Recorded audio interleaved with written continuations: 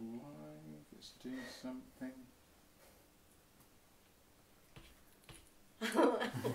Even Storm's like slightly. See people watching. Yeah. Hello, and welcome to this short and sweet live remote session. I'm Peter Livingstone from EADHA Enterprises, and we're a small environmental charity based here in Lochwinnoch. Um, we're all about conserving wild flowers and plants and trees. Um, our speciality is aspen. So I'm here with Gillian Steel, the creative director of ReMode, and together we're going to give you an introduction into the common nettle and why potentially it's an important source of fibre for making clothing. Yeah. Okay. So um, it really is a short and sharp um, journey of through uh, nettles, and um, nettles have been around for a very long time. And in fact, we've um, had findings of fabric made from nettles from um, the end of the Bronze period and uh, Paleolithic times.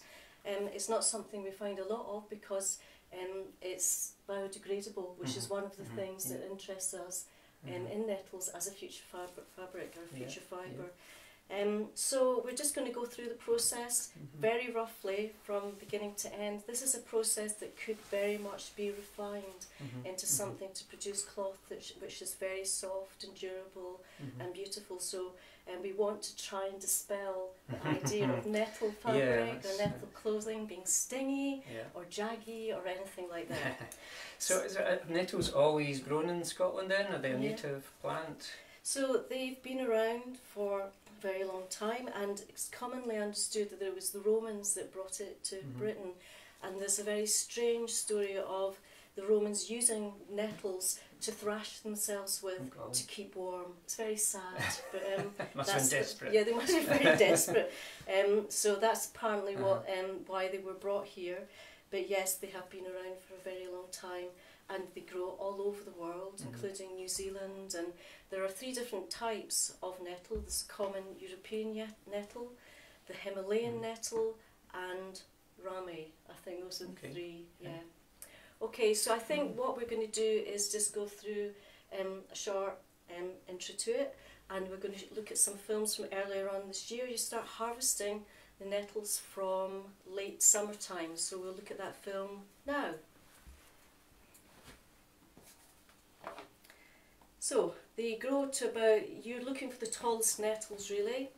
They grow to about one and a half metres and um, you really should be wearing sleeves, not bare sleeve like I am there. It's being a bit gung ho. And you cut right down at the very base of the stalk. And you should, the best thing to do is really to wear um, a leather glove. That's going to be the best way of protecting your hands from the stings. I've found um, to um, to my pain that even if you wear rubber gloves or um, a plastic bag, Mhm. the stings actually the stings in the nettles Okay. still go through Yeah. and you still get stung by it. they're, glass, aren't they, the stings? They're like a little kind of. I almost think of them as being like fiberglass or Uh-huh. something. They have that kind of thing. So they, I mean, they um, stand straight up on the stalk and on the leaves. And the best way to get rid of them is just to use um, the leather glove and swipe down the length of the stalk and um, remove them that way. Okay, so I'm just going to show you that. Um, it's a very simple process.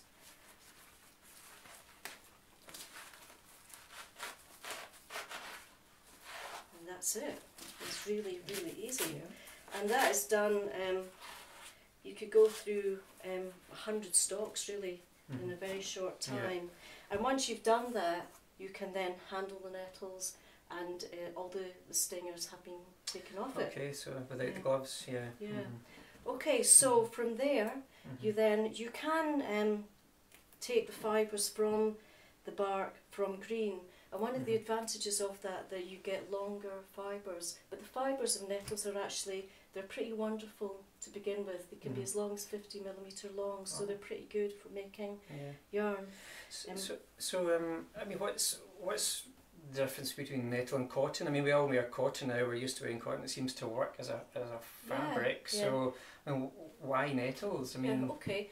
So um, nettles were traditionally used um, right up until about the 16th century, and it really Mhm. only got displaced because of the cotton industry. mhm, So a mhm. small number of people invested in an industry, And um, as a result, today, you know, Mhm. I get. I would guess that anybody who's watching this just now, if they look at what they're wearing, they're probably wearing a, co- a combination of cotton and nylon. Synthetics, yeah. Yeah. So um, nettle um, was used commonly, and it was called the silk of the north. You know, it is not a rough fibre. and In fact, it can make a very fine, fine material. soft Yeah. fabric that's even finer and softer than that Mhm. from flax, Mhm. linen. Yeah. So um, it can make a really lovely fabric. Mhm. Um, yeah, so it lost popularity then, and it gained it again around about the First World War Mhm. um, in Germany when they couldn't get access to Yeah, cotton yeah. because Britain had about 90% of the cotton market. So the German government invested a lot of Mhm. time and effort into growing nettle Mhm. and um, finding Mhm. the right species, and they made their uniforms. I think we might have a picture of a uniform. Yeah, so there's a German Yeah, uniform, Relatively modern times it was used to make. Yeah, no, yeah. absolutely. Mhm. and there have been many designers since then. However, I'll go back to that once I've talked a little bit about the retting process. So, retting comes from the word rotting, and it's basically what you're doing. Um, so, you're taking your stalks and you're placing them in a vat of cold water, Mhm. and after 24 hours, you pour out that water. And one of the wonderful things about nettle is it's got lots of byproducts, Mhm. unlike cotton. Yeah. So going back to cotton, one of the bad things about cotton is it's become a monocrop for producing our clothing. Mhm. Everything you're wearing is cotton or nylon, Mm. as I say. And um, what cotton does as a crop is it, um, it takes a lot of water Mhm. and it takes an awful lot of pesticides in order Mm. to grow it um, to the So high standard that we expect. In Yeah. yeah. So it's got a huge environmental impact, whereas nettles would have nothing like that impact. Mhm. Yeah, okay. So, and it also has byproducts um, for medicine. I'm sure you had talked a little bit about that. Yeah, well, I mean, I've actually got a personal story about this because, um, I mean, I've suffered um, uh, from hay fever and allergies over many years. Uh, I've always shied away from taking antihistamines or kind of hormone-based uh, treatments. So I just happened to Google natural um, antihistamine and it came up nettles. Um, so I've actually been taking nettle pills genuinely for the last about year. And then, well, it seems to have worked. I mean, I have to say, I haven't actually been been suffering too too much at all from anything. So that's my own personal experience in Yeah. nettles, and for me, it is a bit of a, a kind of wonder plan just from that. Yeah. So it's, I mean, cotton has no byproducts. It actually has a lot of problems, but um, I wouldn't be proposing that we completely do away with cotton, Mhm. but look at a diversification. Mhm. Anyway, Mhm. back to retting. Yeah. So you place your stalks, your newly um, plucked stalks, into water, and we're going to look at film made earlier this year when I did the retting process. So you're basically um, stripping the plant, you're placing it in the water. That water then becomes nitrogen rich and is already is a byproduct that can be used in the garden Mhm. um, to water your plants. You then place it in for a further week, and that week is really the week in which the, the outer um, bark of the Mhm. stalk starts to decompose. So it's going to make it a lot easier for you to, to start stripping Mhm. the bark off and strip the fibres. Um, okay, so you're in there for one week, and then again you've got an even more nitrogen rich water that can be used in the garden. I'm weighing it down with bricks to stop them from floating.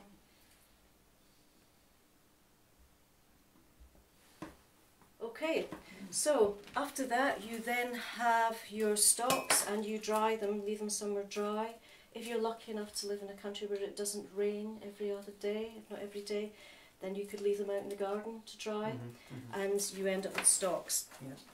Yeah. Um, you then take the stalks, and I'm going to maybe go up to the close up camera if I can, and you use your thumbnail.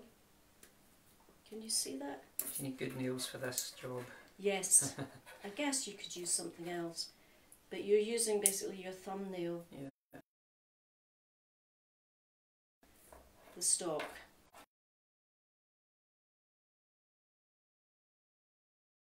Mention actually was that when when you were taking the leaves off, they could be used for tea making. Of course, yeah, Because they could be used for tea making. healthy, healthy tea. Nettle soup as well. Ah, you know, course, nettle yeah. is actually a really good replacement Yeah. for um, spinach. Mhm. And before we started this evening, you and I were talking about the fact that um, fibres aren't the only area in which we've been kind of Mm. convinced to look abroad into Mm. other areas to find them within food. You know, the, the Mhm. flavourings and um, other things that we use, like spinach, for example, Mm-hmm. yeah. we can grow here, but we can also grow nettles. You know, it's a really good um, iron-rich thing. So it could be a whole nettle economy. Yes, you could do. Okay, so the next thing you do is you kind of bend this over your finger, and that is basically the fibres coming off. So, we have someone else here today who I forgot to introduce, Sorley. So Sorley um, has got some experience of making nettle twine, so I'm going to get him to take one of these and see if he can get himself a piece of twine, thread, a needle, and sew a line of stitching and a wee bit of fabric. Yep. That'll No keep pressure. you busy. No pressure at all. Charlie So- actually makes nettle tea. He enjoys Yeah. foraging. We've got nettles in our garden, so yeah. it's- The nettle soup was Mm. pretty amazing. We had that, and you really have to get nettle soup. The, the gather the leaves when they're very tender Mhm, and mhm. young. But yes, lots of byproducts. Okay, so moving on from that, you then once you've um, peeled off all your fibres, you will get something that looks a bit like this. And yes, it does look quite rough, but that's before the carding process, which Sorley is also going to help with. So carding is done using a set of these, set of paddles with hundreds of little pins in them. You put your fibre on that So just as you would with sheep's wool, presumably. That's right, it's same- exactly the same process. process as sheep's wool. And then It's just softening the, breaking it, breaking the you're, break, you're breaking it up and you're Yeah. separating um, the woody pithy bits. Those are all the bits that are kind of flying off just now. hmm Um, and eventually you end up with something that is quite soft. Now I'm going to again leave this for Sorley when he's finished doing that task to do a bit more carding. And in the meantime we're going to have a look at um, some garments, some other garments and objects that have been made with nettle. Um, I said earlier on that there are, have been, it hasn't, wasn't only just that um, nettle was revisited at the First World War. Um, since then, there have been some designers all across Europe who have looked at using Yeah. nettle, and there's an organisation called STING, the Sustainable Textile Innovation Group, who are um, um, in growing nettles, who are Mhm. um, looking at a number of fibres. So it's not just, I mean, we, we really need Yeah. to be looking at diversification Mhm. um, to try and um, take away all the, the, the tension and Mhm. all the kind of the, the focus on Yeah. cotton. Um, so what was I saying? Mhm. Sting, an organisation who are Mhm. looking at um, Mhm. developing fibres. So we're going to look at some clothes. Um, this is a very kind of rustic piece of fabric. That's what the very kind of first um, Mhm. level of what you might expect from um, a processed nettle um, to a finished item. But you know, there's no reason why um, nettle, like any other process, couldn't be something that is um, has a lot of development Mhm. and research built around it, funding, government Yeah. Which will then mean that we can develop the right species and the right mechanical ways of um, It processing. maybe and wouldn't take much. Yeah, it just it just requires a bit of government backing and a bit of research money. And Yeah, I mean, well, when cotton was in, introduced, there was a whole lot of um, shenanigans about which kinds of machines actually Mhm, um, managed to um, yeah. deal with the husks and remove what was needed to refine the, Mhm. the, the fibre. And Scotland's got a great history of, of obviously weaving, spinning, so you know it Yeah. ties in with that, doesn't it? We're also hugely patient. We put up with a lot of disappointment, so we, we really know how to um, stick with something. So. yeah. Um, so I was going to look at um, while European nettles haven't so far been exploited or explored in this way, um, ramie is a fabric that is Mhm. made from Chinese nettle and um, that has been looked at for quite a while. So I think we've got a garment that's um, a dress. Yeah, so that's a Oh. very kind of fine. Um, yeah, so that's quite a leap for them from a soldier's uniform to a fine. Yeah, it's because you could still imagine a soldier's uniform would be quite um, rough. Mhm, mhm. So back to the properties of um, nettles. Some of the things that are wonderful about it is that each nettle fibre is hollow, so it's got fantastic Mm. insulating Mhm. properties. It's very good for keeping out the cold and Mhm. for letting out heat as well. So it's good for heavy garments and also good for very light summery garments. And it's Wonder just even a, a building, you know, material could it be Yeah. like, uh, natural insulation perhaps. Yeah, you know, they use be, sheep's yeah. wool for insulation. uh, Yeah. So There's no reason why Mm. this couldn't, an infrastructure couldn't be built Mhm. around this. There is another organisation, is it called Camry? K C A M R I, Camry, and they make a lot of um, nettle fabrics for um, furnishings. okay. So this this is not something Mm. so entirely new, but it is Mhm. something that's quite neglected, Yeah. and it, it would make absolute sense for Scotland and, and other small nations to look at Mhm. um, how we could um, Mhm. grow this in small ar- in areas and um, start to produce. So much potential, you know, and there's a lot of talk just now, especially with the pandemic, about going over to a more green economy after, and you know the the new uh, reality, um, and you know these are the kind of things I think we should maybe be focusing on, um, and I, I think people don't realise the environmental costs of of clothing. You know, Yeah. like plastic's a big thing. You know, air pollution, whatever the the food we eat, but I d- I don't think clothing's got that such a media um, attention. No, I think it's almost one of those invisible things because we tend to Mm. wear clothes every day. It's also something that tends to be associated with, oh, women are concerned with clothing, but of course men Mhm. wear clothes too. Everybody wears clothes. We need Yeah. clothing. My we wife buys my, my clothes for me. So Shame on you. So um, Mm. yeah, so it is an area for. Sorry, I was I'm getting a message there. So anyway, I've kind of lost the thread now. We are um, looking at garments made of Mhm. nettles, and um, Sorley has um, managed to do a few stitches. And if we go back to the um, fibre that gets produced Mhm. from nettle, this is what the fibre should end up looking like. So it's So pretty not- soft by not, that point. Not jaggy and Not rough jaggy, as you'd expect. not jaggy at all. yeah. I mean, if you the- can maybe hand me over the, I've got a flax sample as Mhm. well.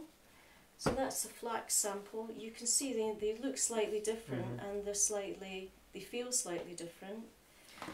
And is Um, this something people could be doing at home themselves? I mean, Yeah, okay. I you know, mean, it's not. I'm not proposing that people start growing um, their own patched Mhm. nettles and start um, knitting nettle suits, but certainly it's something that you could experiment Uh-huh. with, and it's really good to connect and realise this is where our materials come from. This is how we get them. yeah. Um, and Sorley is in action at this very moment. Um, he's managed to make a piece of thread. Do you want to come up and Yeah, have a show look at us? this. And you can try about carding as well.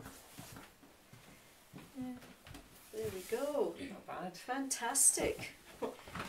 Um, one of the other things that happened during the war was that um, silk sco- stockings, we couldn't get silk stockings. This is one of these famous things that America could still get access Yeah. to silk stockings, but in Britain we couldn't. So there was a lot of, um, thank you very much, that's very beautiful stitching as well, Mhm. Sorley.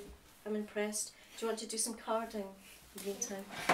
Um, so silk was impossible Mhm. in as much the same way as Yeah. cotton was, and so nylon was developed.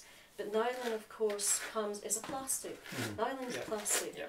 and it's it tends to be the component that's put in with wool to make wool very durable. Mhm. But in fact, this fibre is incredibly durable. It is at least as Mm. strong as nylon, and it could be one of those things that um, um, reduces our need for cotton or Mm. wool, and we can mix it with other fibres. It's very So stronger than cotton then? It's, it's, it's, it's as strong as, nylon. Well, yeah. so it's pretty convincing uh, argument then, isn't it? I know it is. It's, it really is a bit of a wonder fibre, and um, I would say the reason that it's not been the t- attention has been swung away from it is because there's been far too much that's been invested in the cotton Yeah. industry. A lot of people place a lot of money Vested and interest. invested yeah, interest yeah. in cotton.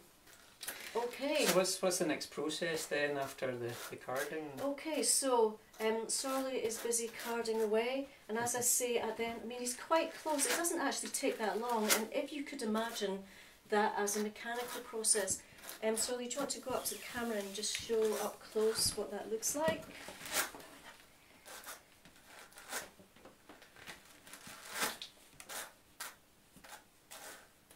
Yeah. Sorry. Okay, so we then um, we've got a big bundle here. To the main camera of the um, the, the nettle fibres, and I'm going to basically show you how to do some spinning. My spinning is terrible, so I really must apologise to people who are very well, you don't have a proper spinning wheel for a start. I've, um, I've made a very basic spindle out of a couple of CDs and a stick and a hook. And um, in Paleolithic times, um, people would sit doing this and they would um, use spit. And the reason for that was that um, it released the pectin in the nettle fibres, which helped them to Mhm. wind together. So that's basically spinning. Um, and you end up with a fibre, a yarn that looks like this.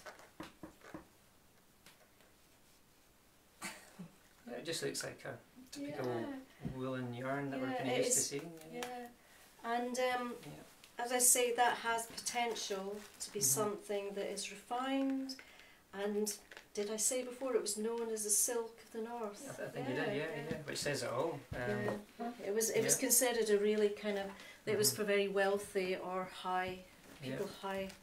yeah, the complete society. opposite of, of what people What you imagine it now, Yeah, yeah, yeah, and that's it's fascinating. Yeah. And this is my um, knitted sample.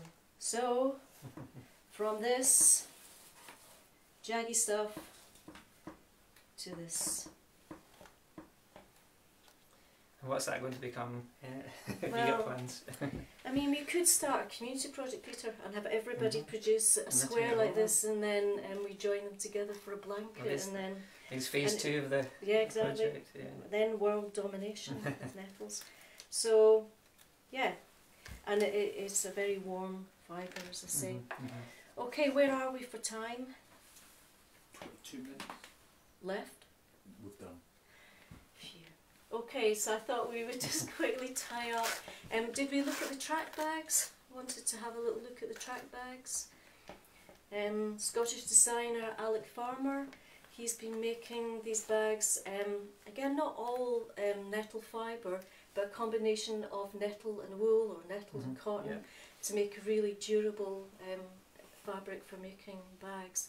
And Mhm. he's um, Glasgow based. Mhm, So lots of designers working in this way and exploring it. mhm. Yeah. So you certainly opened my eyes. I mean, it's clearly a wonder plant. I mean, there's no, you know, getting away from the fact it's a super plant and uh, a super food, a super fabric, uh, fibre. Um, it's all the all these things, and uh, you know, I think. I guess anyone watching this will hopefully have their eyes open that when they're walking past what we think is weeds and, and horrible jaggy plants that actually could be the next big No, thing. absolutely. I mean, obviously, we are seeing the rise of other fibres like bamboo, and there are other fibres being looked at made from pineapple, banana skin, Yeah. algae. Um, this is just one possibility. And in terms of um, what happens now with the cotton industry, because it's, it's so problematic because so much of our clothing is made of it. Mhm, It's, mhm. it's, it's absolutely the mono Yeah. item. That um, the solution is not that we all start growing nettles or we all start growing pineapples and making Mm. um, fabric from those, but that there's a lot more diversification and lots and lots of small businesses. And for those to happen, really we need to have some kind of infrastructure and support, Mhm. and we need people to be much more aware. Maybe when they see something that's made of bamboo fibre or Mm. something's made of nettle fibre, that they think, okay, I'm going to give that a go, I'm going to buy that. Um, and as usual, at the beginning, those things tend to be more expensive, and then as things move on and Mhm. it becomes more Yeah. commonplace, the price goes down. Um, Aye. I was also going to talk about um, I think that was it. Remode. So just to tie off, in the Mhm. last year, Remode has been working with um, Garnock Connections. Mhm. Um, Mhm. with Peter, and we've been looking at a rewilding project, and that's um, one of the projects that you can see online at the Remode website. Um, it's called Garnock Connections, and um, that's an ongoing project. And we did some walks where we went out drawing and collecting seeds, flower heads, and then Mhm. taking those seeds and taking them to other areas in order to spread and rewild those wildflowers to other Yeah. areas of um, the Garnock Valley. So look out on ReMode's uh, website for our upcoming workshops. Come to our shop. We have a token system where you can bring in clothes you don't wear anymore. You earn tokens and you can spend them on our vintage trail. And also, Peter, are there any other th- projects you'd like to tell us about? Yeah, yeah. Well, as I say, um, you mentioned Garnock Connections. Well, our, our project's called Growing for Garnock, so it's all about um, kind of introducing people to the wild plants and flowers and, and trees that uh, are to be found in our local environment. So I suppose, especially during these kind of lockdown times, you know, people are I think becoming more um, involved locally and also um, you know becoming more familiar and, and, and uh, with our with our local environment. We're not able to kind of travel so far, and but I think that's been a good thing. Um, so our project kind of fits very nicely with that. So yeah, it's all about um, education. It's about plant identification and understanding what uses even plants uh, were, were naturally put to. And so this the, the nettles ties in beautifully with that. Um, so there's lots of volunteering opportunities. We work with a lot of volunteers to help us collect seeds, um, to help us propagate. We're, we're even engaged with volunteers now working at home, helping us to sow seeds or prick out seedlings um, which is a great way of engaging people where perhaps they can't come to, to our nursery uh, or an, uh, other um, facilities. So there are plenty of opportunities, and then of course planting those back into the environment. So we're, we're, all about enhancing uh, local sites, creating ha- new habitats, and basically you know greening up and enhancing the, the Garnock Valley, which is what this wider um, Garnock Connections project's all about. And it's been great working with Remode. Um, you know, you, you, you've provided a really interesting kind of artistic slant on, on the wildflowers, and people have been producing wonderful drawings, and, and um, you've created a, a lovely exhibition showcasing all that work. So that's been a really nice, interesting sort of component Yeah. uh, to the project. So um, I thank you for that. Okay. So yeah, and you've opened my eyes to, to nettles, so that's that's for sure. Yeah, I So- think we've got a couple of questions that have come in. Yeah. Um, how easily does the nettle fibre take on dye? Right, okay. This is one of the supposed um, downsides of nettles that it is not as receptive to dyes as, um, for example, cotton. But it can be mixed with um, other materials, and when it's dyed, it creates a strange kind of mottled look fabric, which has a, its very own quality. Um, also, the fact that nettle in itself can be used as a natural dye. Mhm. Um, it, yes, it's, it's less receptive to dyes than um, traditional cotton or nylon, but we have spent an awful long time and an awful lot of investment in developing aniline dyes and acid dyes to, to create the colours that we have Yeah. in our cotton and polyester nylon clothing. So I've no doubt we could do a similar thing with um, nettles. And where do you get the nettles from? Nettles grow everywhere. Where do I get my nettles from? I've got a very secret location. No, I don't. Nettles grow everywhere. They tend to grow um, in kind of places that are derelict, where people have lived previously. Yeah. They tend to denote that has been a settlement in the Yeah. past or a building that's going to um, tumble down. Um, where my knowledge fails is I don't know how much um, work would be involved in developing the right kind of strain or um, Mm. looking at different species. But my understanding is that European nettles are less easy to grow than the other types, and yet here we are. I guess anybody here could probably think of somewhere where they know that nettles grow, even my in the city. yes, in your back garden, in the Yeah. city, and um, yeah. Well, they're, they're everywhere. They don't have to come from a particular place. Mhm. Okay. Um, any more questions? No. Phew. Thank you very much, um, Sorley. Let's see what you've done with your. Um, did you find there. that hard work? Yeah. Yes. So you don't fancy being a full time carder? Hmm. Dang. Creative to do. Thought I could get away with um, meagre wages. okay. Um, thank you very much. I hope it's been an enlightening session. Thank you, Peter, for Pleasure. keeping me It's on been track. fascinating for me. And so thank you for Yeah. joining us. Great. Bye. Bye bye. Yeah.